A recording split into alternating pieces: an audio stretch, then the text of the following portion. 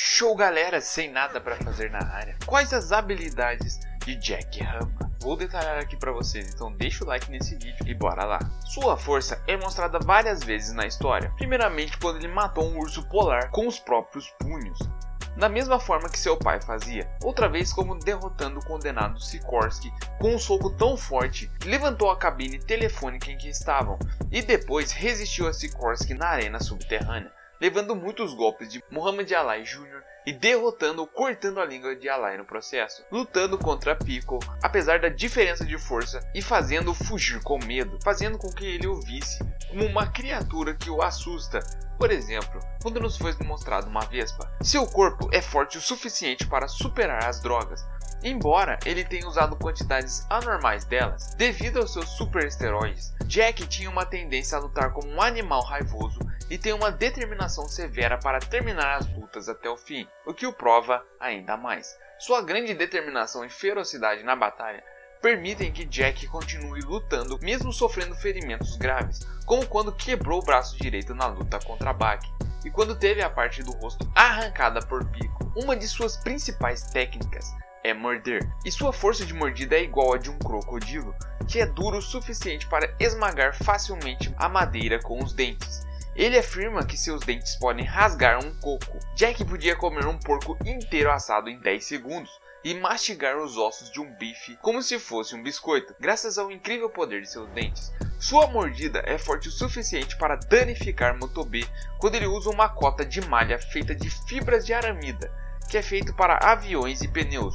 Embora ele tenha perdido todos os dentes no processo. Após criar o Goldou, Jack aperfeiçoou a força de sua mordida, conseguindo sustentar seu enorme corpo em uma árvore apenas mordendo uma toalha que estava amarrada a ela. Ele também foi capaz de levantar pesos enormes por muito tempo apenas com a força de sua mandíbula. Se você está curtindo o vídeo até aqui, já deixa o like e não esquece, se inscreva no canal, comenta aí embaixo, hashtag Goldou, para saber quem chegou até essa parte do vídeo e bora lá. Desde sua derrota contra Motobe, Jack fez grandes melhorias, fortalecendo a sua mordida. Como morder é a técnica de assinatura de Jack, tornou-se seu estilo marcial e ele acabou se dedicando exclusivamente a isso.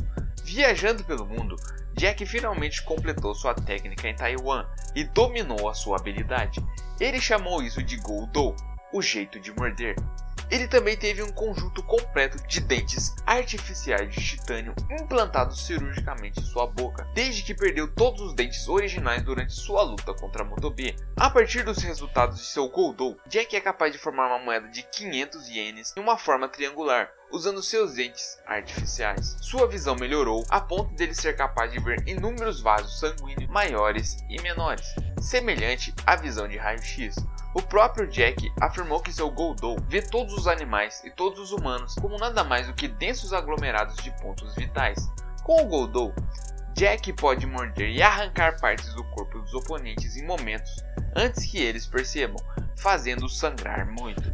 Ele também pode contra-atacar qualquer golpe direcionado ao rosto com uma mordida rápida e forte. Ele conseguiu arrancar o dedo mindinho de nome no Sukune, no segundo em que ele atingiu o rosto e rasgou seu calcanhar quando o lutador de sumo o chutou na mandíbula, fazendo-o perder muito sangue devido aos ferimentos. Depois de uma luta dura, Jack conseguiu derrotar Sukune, que tem uma grande força de pressão, capaz de transformar carvão em diamante e foi reconhecido como um dos personagens mais fortes da série.